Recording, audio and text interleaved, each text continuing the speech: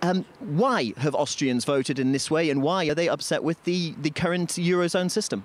Well, they don't trust uh, the politicians in Brussels anymore. They don't trust our Austrian de uh, decision makers, what they do there. They don't believe they find the right solutions. I mean, after all, it's just a, a, a redistribution on a supranational level. It's Austrian tax euros that go to other countries and are just washed down the drain.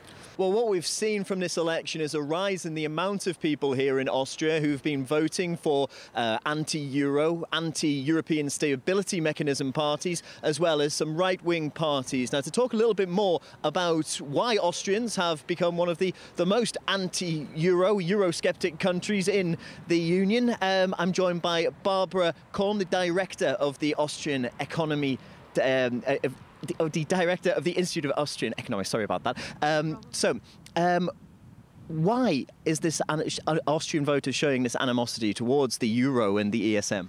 Well, the voters have seen that no solutions have been there in Europe. We have been prolonging the problems forever and ever. More of the same. It's as simple as that. And the voter has voted with its feet and says, no, thanks, and it's enough.